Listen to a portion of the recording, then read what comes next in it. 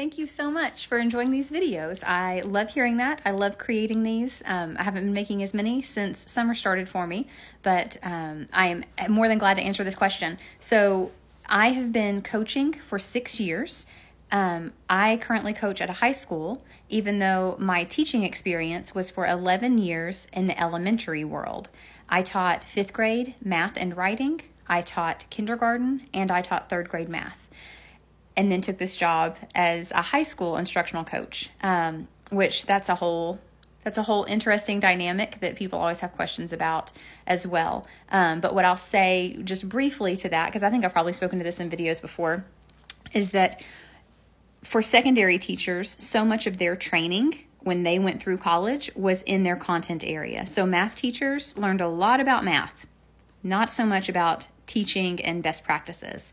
Whereas an elementary teacher, I was trained and in the elementary world got to use a whole lot of um, strategies for teaching. And so the content, I mean, that's certainly important, but my training and my expertise is even more in um, instructional strategies than it is in anything else. So, so many times the teachers that I work with are just so appreciative that we can work together and um, they can do, you know, learning alongside me, me learning their content, them learning instructional strategies to best engage students. As far as um, my own education goes, I have a bachelor's degree in interdisciplinary studies, which is a fancy way of saying elementary education.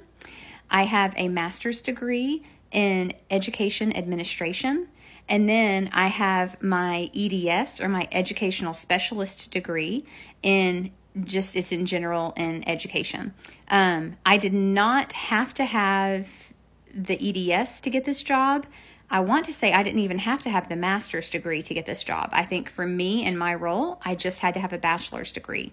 Um, and I do actually have a um, a video I think on YouTube that I will try and pop in the comments here of specifically different certifications and things that you can get for instructional coaching. But for most cases, for most people who are just curious about the role, you don't have to have necessarily extra certifications or specialized degrees for an instructional coach, but they typically do like for you to have plenty of classroom experience. So, thank you so much for this question, and I hope that this helps and that you keep watching and keep reading those Jim Knight books because you know I'm a big fan of those too.